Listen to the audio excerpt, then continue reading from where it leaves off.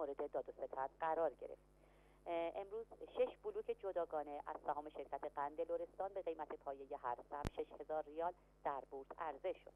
همچنین در ادامه رقابت روزهای گذشته عرضه 8.33 درصد قند لرستان به قیمت رقابت شده 4579 ریال توسط شرکت سرمایه گذاری ملی ایران در بورس انجام شد.